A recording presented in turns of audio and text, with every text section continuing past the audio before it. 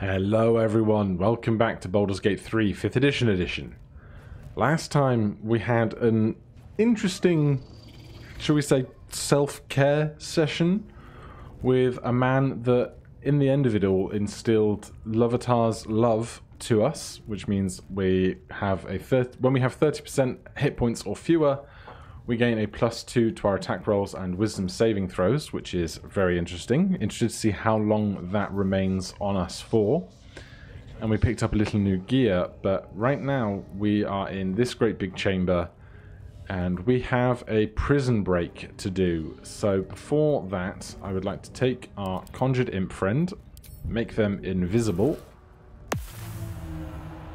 and just go for a little scouty scout since they can fly and since they're invisible, why not go around and just peek our noses in, see what's going on. So we've got two here, a Butcher, level 3, 27 hit points, and a Beastmaster, level 3. Down here, there are two Wargs. We've got Fur and Tail. They're currently locked in, although this gate only has 12 hit points. And there's a switch there. Down here, we've got a firewine barrel and a couple of wooden hinges on these big wooden, uh, big wood burning torch chandeliers. A shrine with nothing interesting happening on it. And then three brawler, Burka, and one with much lower HP totals. Nothing up top. A ornate door that we cannot open as an imp. And that seems to be the total of our foes here. This alcohol is already a flammable surface. And as we are, we're not going to be able to get in here. But they do have a lever here. Now, unfortunately, the imp cannot pull the lever, which is a shame. But if we can pull that lever and release the bear, we should have a much easier fight. So here's my next question. I know that we have, somewhere between us, the Mage Hand cantrip. Can our Mage Hand Unfortunately, it's not a rogue's mage hand, so it's not invisible. It doesn't look like the mage hand can pull the lever.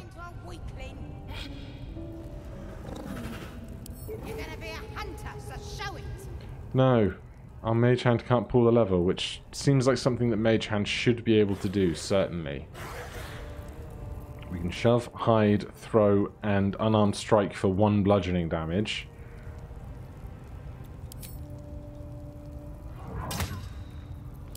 Oh. This is the stupidest solution to a puzzle I've ever seen. This mage hand is only going to be around for a minute. So it's going to take us like at least four mage hands, I think, to get through this gate. But no one else seems to care or notice us. Please, no. What are you doing? What did you just do?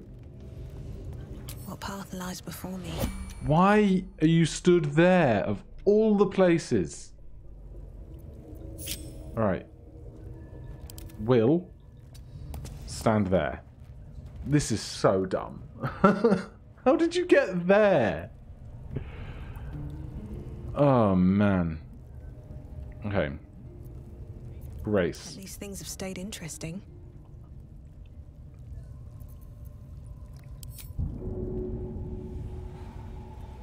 I need you to be back on the other side of this fence post. We can't walk through here. We have to jump through.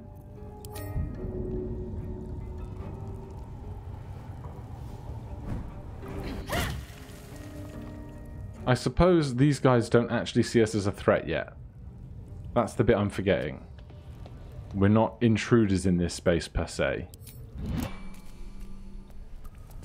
Okay, right. That was awkward, but We didn't start an unwanted fight. Played it already. Where is that mage hand gone? That ends not as bad as it could have. Am I going mad? Where is mage hand?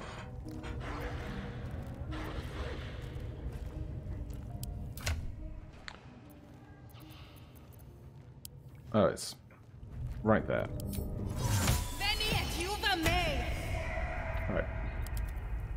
Thanks for really startling me, game. I appreciate that. Back to trying to break down this door. One HP at a time.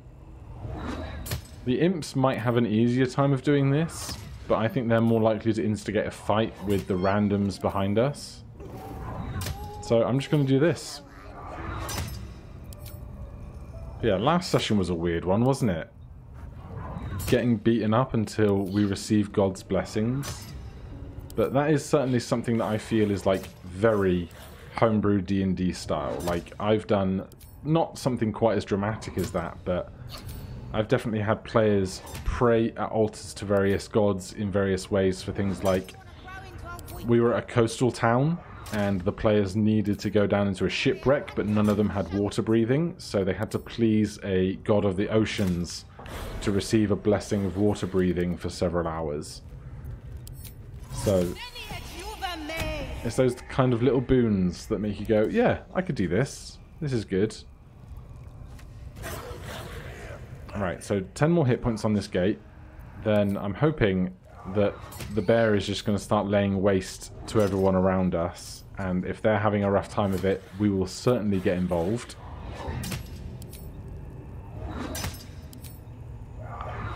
Four, three, two, one.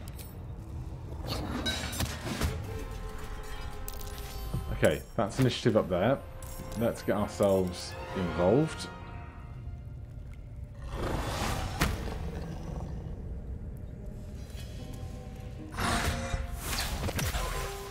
Alright, we are also in the initiative now.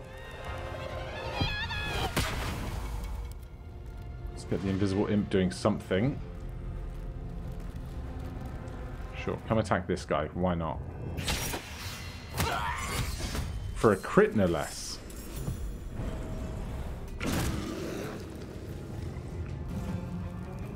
And the mage hand's still in the fight, amazingly. Well, we might as well... Can we? No, even though we're a spectral hand, we can't get this high up. There's nothing for us to throw. So we might as well try and hit this guy for one bludgeoning damage.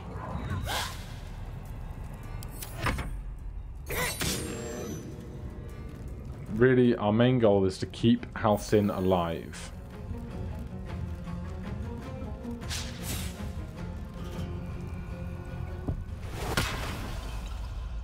This one's going to run away. I think they're going to try and call out to guards elsewhere. That might be what these two are both doing together.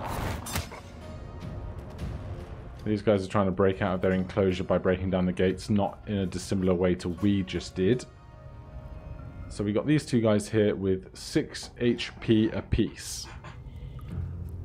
We could shatter, but I think shattering is going to be overkill.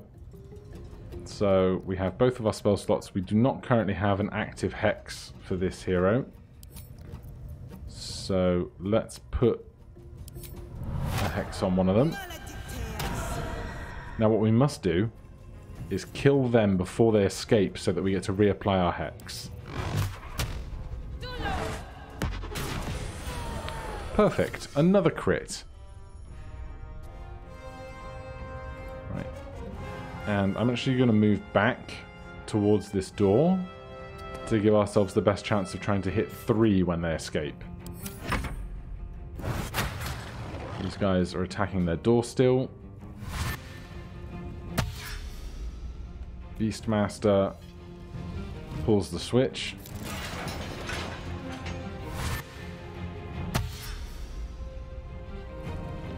And they're dashing back towards the fight.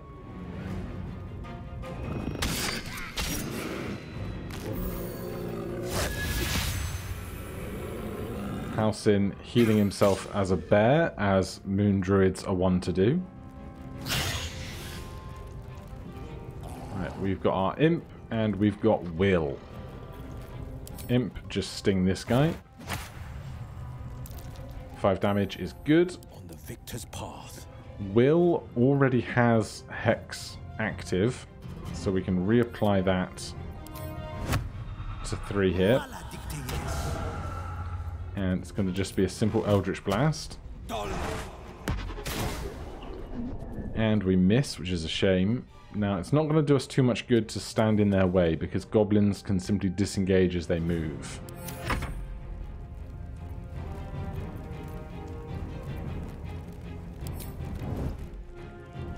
Yeah, figured that wouldn't work. Heroes can't do that because heroes are limited by a hide being a full action, but who knows what different creatures are able to do. Right, the wargs are out. They're dashing, probably towards Halsin. Oh, great. The help have arrived. These will be the ones from outside. So with these guys having 12 HP each, I think a shatter is far more justified now. Make sure we're not obviously in the area of effect of the spell. And we can bonus action offhand melee strike here. We miss, unfortunately. Wargs continuing to dash into the fight. Right, I really want to break down this chandelier before they have a chance to move. Especially now.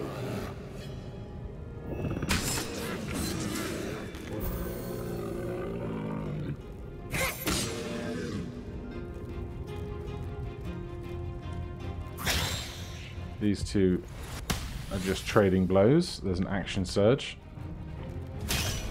Alright, Imp is down. Hand Wasn't Majigger is down. So I'm going to hit this to just do some AoE damage to the guys below.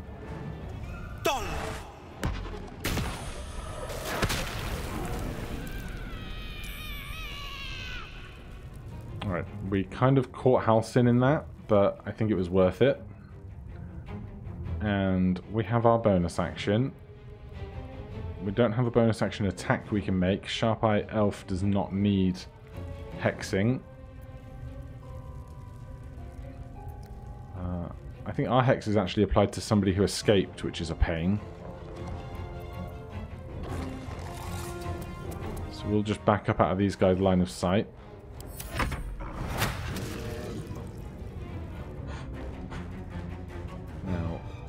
I'm going to use my bonus action to attack off first. Then if they die, we have a full action to do something else with.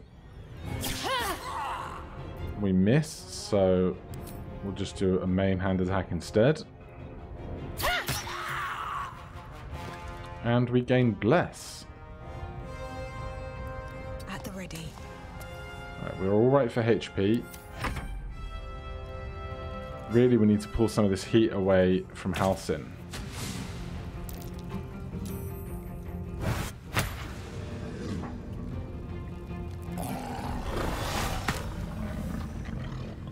He currently has 8 HP, which is a bad time.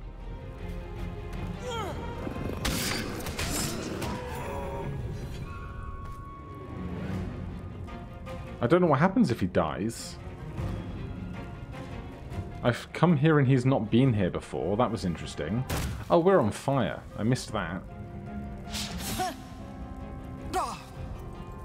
Alright, Will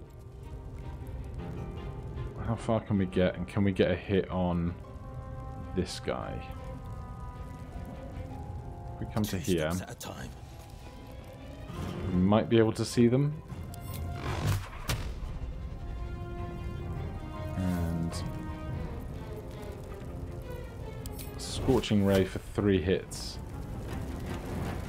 might be our best bet here. 14 damage is really good. we are granted an additional bonus action.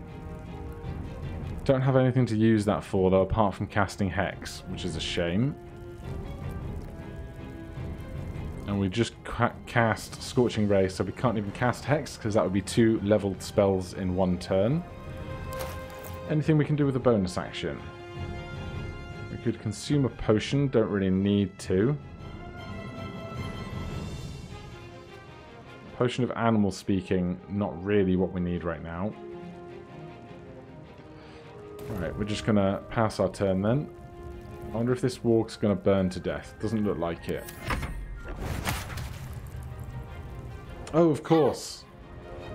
Uh, Halsin's bear form had all of its HP removed, but that's on top of the standard hero's HP. So he still has 94 HP. He's fine. So in that case, over here...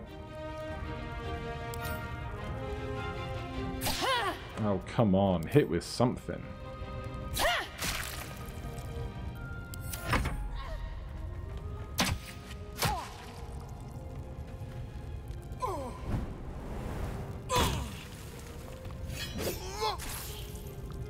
Alright, now the druid. I don't know what that was.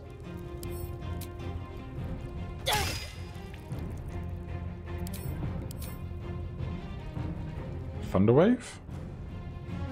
Yeah, very nice. Uh, let's... How much health does this one have? 12. Well, I think Grace... Uh, no, we're both kind of worse for wear for hit points.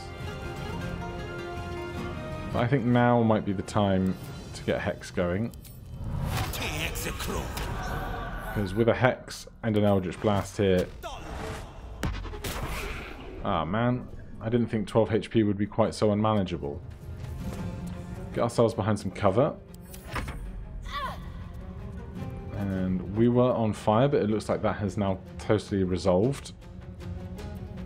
Uh, we can now reapply our Hex, interestingly. So we'll put that there. That's our bonus action, so we only have a main hand action left.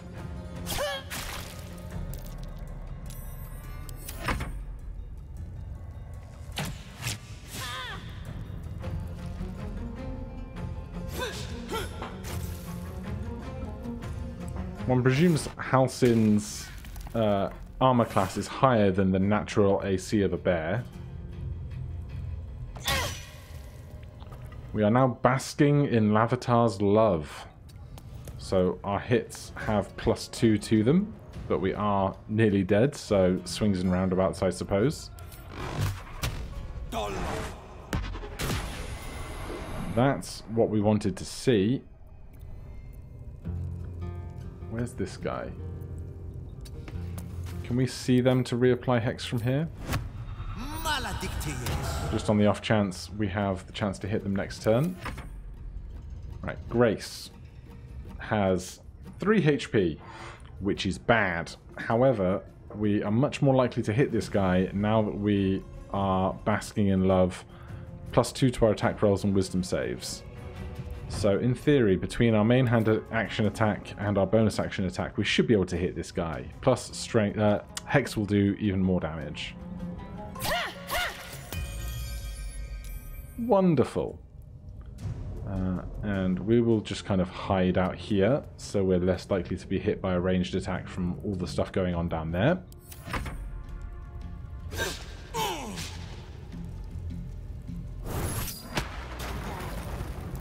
More thunder waving. Just this guy left, which will, uh, yeah, will uh, hex to them last turn, so this should be even more effective. All right. All right. What now? Okay. I'm going to go into turn-based mode right here. Just to pause the action. Join me next time. After this bloodbath, we will go and speak to the Druid Halsin, see what they have to say about what has just occurred, and see what our next steps are. Almost certainly including a short rest. Thank you ever so much for watching. If you're enjoying the series, please do consider subscribing or hitting that like button. If you have any questions or comments, you can put them down below. Otherwise, I'll see you in the next one. Cheers.